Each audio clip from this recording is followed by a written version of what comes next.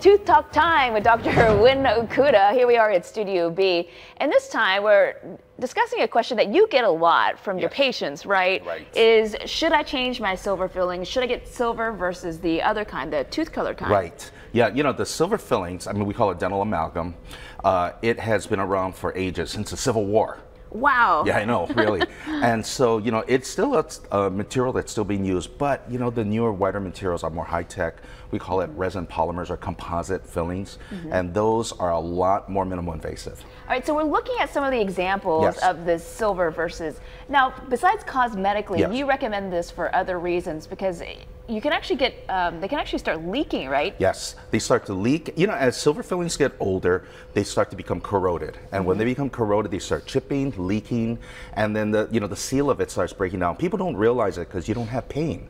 But the thing is that it, the damage is starting to occur under many of these old fillings, you start to have cracks in your teeth, and that's when a lot of big time problems can occur, like root canal treatment and those types of things. So if you can, if you can avoid it, be proactive about it.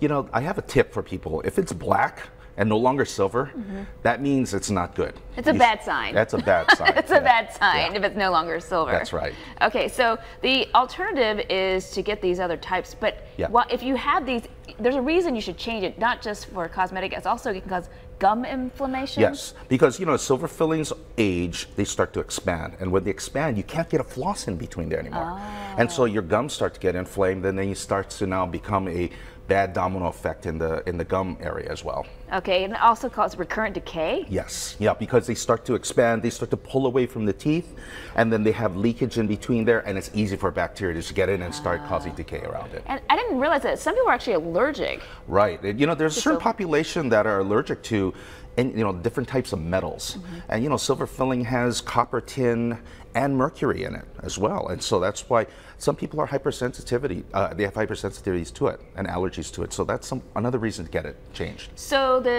tooth color colored fillings actually yes. take away less of the healthy tooth when you're drilling, right? Yes, because you know we can be so minimal invasive. The high-tech resins now are liquid. We use liquid, and then when we cure it, boom, it's, it's nice and durable. And so because of that, we're able to flow that into crevices so we're not, we're not removing a lot of tooth structure to get those oh, smaller cavities out. I see. Yeah. Uh, do they last as long? They last a long time because of the most, they're very durable. I can't tell you that it's going to last like ages, but then as long as you take care of it, you'll be able to maximize the lifespan of that. Yeah, I was surprised to learn that a lot of things in dental care, you have to change them every like 10, 15 years sometimes. Yeah, because you know, the we're, especially because we're so hard on our teeth now. In our grinding, Some of us more than others. yeah, so grinding is not a good thing, you know. so, All right, Dr. Wynn Okuda, thank yeah. you so much for coming in. Some My good pleasure. tips for you. Speaking of grinding, let's go to Steve. What does that mean? hey, uh, Malolo Beverages is hiring.